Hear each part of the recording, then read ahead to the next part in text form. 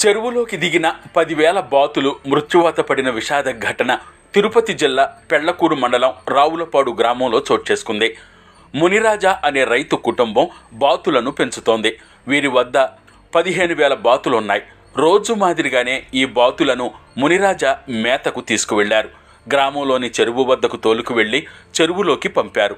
అయితే చెరువులోకి వెళ్ళిన పదిహేను వేల బాతుల్లో పదివేల బాతులు చనిపోయాయి. బాతులు చనిపోవడాన్ని గమనించిన మునిరాజా పెళ్ళకూరు పోలీస్ స్టేషన్లో ఫిర్యాదు చేశారు.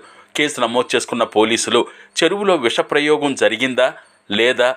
ఇతర కారణాలతో బాతులు చనిపోయాయా? అనే కోణంలో పోలీసులు దర్యాప్తు చేస్తున్నారు. పరీక్షల కోసం చెరువులోని నీటిని తిరుపతి ల్యాబ్కు పోలీసులు పంపారు.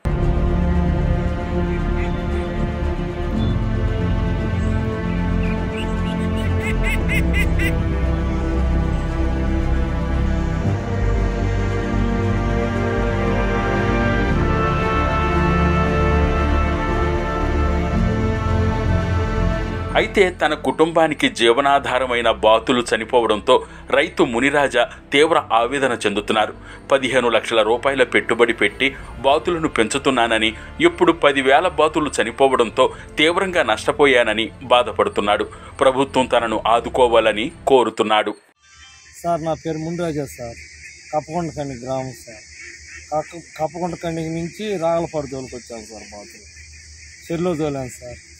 పదిహేను వేలు బాతులకి పదివేలు తెచ్చుకున్నాయి సార్. ఐదు వేలు ఉన్నాయి. నాకు ఆటో టాక్స్ సార్. నాకు ముగ్గురు ఆడపిల్లలు సార్.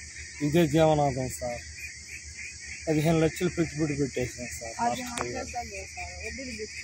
వడ్డీలు తెచ్చి పెట్టాను సార్. నష్టపోయాను సార్. ఏదో బతుకు చెప్పాను సార్.